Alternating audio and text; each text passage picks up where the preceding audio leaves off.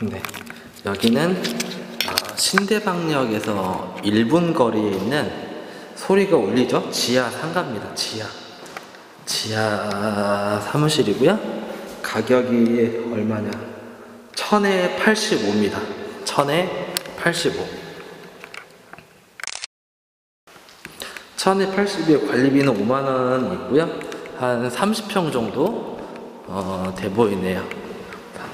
이제 좀 한 게 좀 아쉬운 게 어, 주차비는 따로 안 받는데 주차를 확정적으로 두 대를 줄 수가 없어요.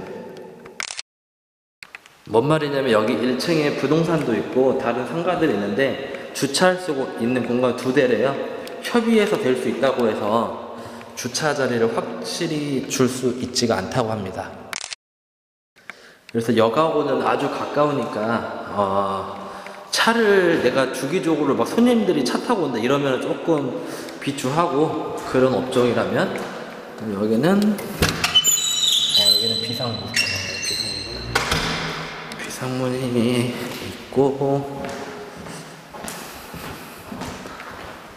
여기 화장실이 따로 그래도 있습니다. 여기 시- 세면대가 있고 화장실은 아, 따로 있네요. 지하에 넣을 수 있는 그래서 화장실 있고 한 30평 정도 되는 신대방역에서 1분 거리? 어, 1분 거리의 상가인데 아, 주차가 조금 아쉽다.